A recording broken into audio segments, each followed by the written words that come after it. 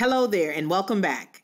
I'm Mrs. O. For those of you new to my channel, I'm here to support my parents, students, and teachers. And today, teachers, I'm here to share with you another great presentation tool, Classroom Screen. It is a free and easy to use presentation tool where you can display lesson instructions in a visually appealing way. With Classroom Screen, you have many options to customize your screen. So if you're used to displaying a Bitmoji classroom to get your lessons off to a great start, and you're interested in switching up your presentations a bit, then check this out. Once you log on to classroomscreen.com, you'll end up on this homepage. Click Launch Classroom, and you end up on an automatically generated screen display. At the bottom of the screen, we have the widgets displayed.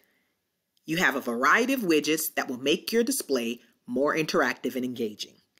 Now this background is cute and I do like Bambi. But if you're not into Bambi, let's take a look at some other background options. Here to the left, we have background. Simply click on it and you have options. Photos, animations, colors, winter scenes, and depending on your theme, perhaps you'd want to upload your own. So let's go with the happy theme. We're so close to winter break and I know everybody's excited for the break. So let's choose this as a background. Next, we have the random name selector. So when asking a question, just simply select it and it will randomly choose a student to answer. What's neat about it is once you've entered the names and saved them to your list, it ensures that students are called on randomly. Select choose, and then a student's name pops up. It keeps students on their toes because they never know when their name might just pop up.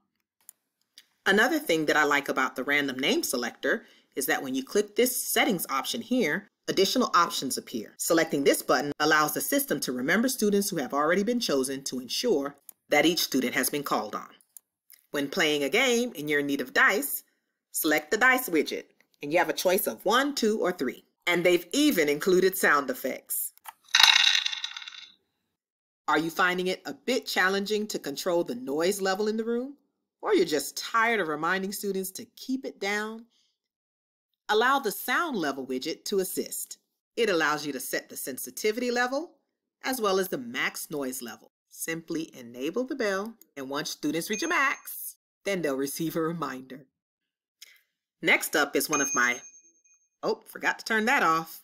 As I was saying, next we have one of my favorites, which is the media option, which allows you to insert images, YouTube videos, webcam, and embed. Let's take a look at what it looks like when inserting a YouTube video. All you need is a web address. Once you've located it, simply paste it here and hit enter. And there we have it. Here we see one of many possibilities. So imagine you can have a video or pre-recorded lesson set and ready to play as students enter class, whether virtually, face-to-face, -face, or simultaneous. And you don't have to say a word. Just press play. Next, we have a QR code where you can simply enter a link that will direct students to an activity or another web page by simply scanning. We also have a drawing tool that allows you to select different colors, thickness, and erase. You can also add text by typing. And for some added flair, you can also change the color. The work symbols and traffic light comes in handy too. With a simple click of the button, you can alert students to perform different actions. Selecting work symbols allows you to remind students to remain silent whisper, ask a neighbor, or work together. Assign meaning to the colors of the traffic light, signaling to students when to start work, the time remaining, and when to stop an activity. Do you need a reminder to keep you and your students on schedule and to keep track of time? Well, you have three options with the timer, stopwatch, and clock. And with the clock, you have a 12 or 24 hour display option. Even a calendar is available to help you and your students keep track of the dates. If you have an active board and are teaching students face to face, you'll enjoy using the polling feature that can be found on the home page. Towards the bottom, select New Poll, and a quick What did you think of today's lesson will automatically be generated, and students can simply make their selection on their way out the door. Oh, thank you. You all are just too kind. And while you're at it, take a little time to let me know your thoughts about Classroom Screen by typing your comment down below. But we're not quite done yet. Here are a few examples of what you can do with Classroom Screen. When opening up your lesson, you can post a message, include a warm-up activity, work symbols to set class expectations, a countdown timer letting students know when class will begin, and also a calendar to display the date.